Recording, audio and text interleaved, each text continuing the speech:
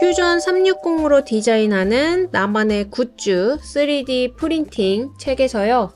반려동물 목걸이 첫 번째 예제죠. 그리고 뒤에 나오는 미니 이젤 예제 부분에서 스케치를 그릴 때 앞서 만들어진 스케치나 또는 본체에서 선이 잡히지 않을 때 참고하는 추가 영상입니다. 자, 이렇게 기본 스케치를 그리고 나서 돌출 이용해서 solid 본체를 만들어 주죠. 그 다음에 이제 이 윗면에다가 스케치 작성을 하게 됩니다.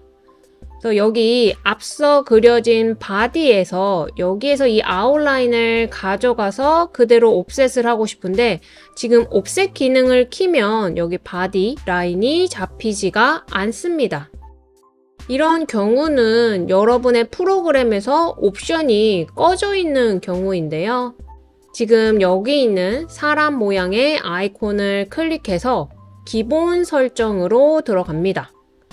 그러면 기본 설정에서 일반에서 디자인 넘어가게 되면 여기 활성 스케치 평면의 형상 자동 투영이라고 하는 부분이 있습니다. 여기 자동 투영.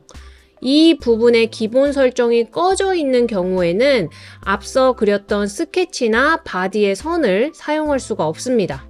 그래서 얘를 체크를 하고요. 적용을 누른 다음에 확인 누르게 되면 다시 한번 스케치 작성을 해볼게요. 여기 뼈다귀 윗면 선택하고요.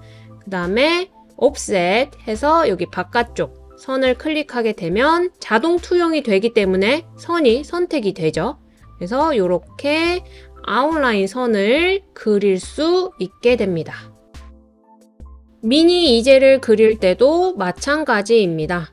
앞서 그렸던 본체에서의 선을 사용하기 위해서는 자동 투영이 활성화가 돼 있어야 이전 본체에서의 선을 활용할 수 있습니다.